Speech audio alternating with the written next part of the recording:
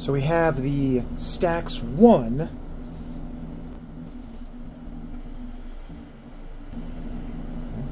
And this can give a very powerful, very sharp flame. And even, you know,